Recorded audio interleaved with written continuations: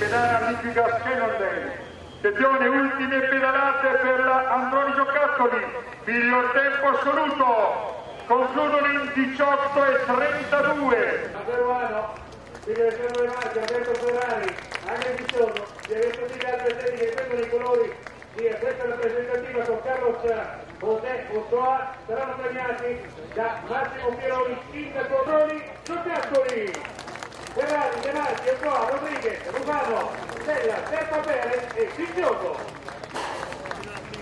Piccola Fregosa per la squadra vincitrice. Ecco di tutto sull'alto del podio. Diego Ulissi, miglior giovane, portacolori della Lamprey ISD e che si raggiunge a Manuel Belletti della Cornaco CSF per la classifica ricevuto la maglia rossa Unicredit, simbolo del primato della settimana internazionale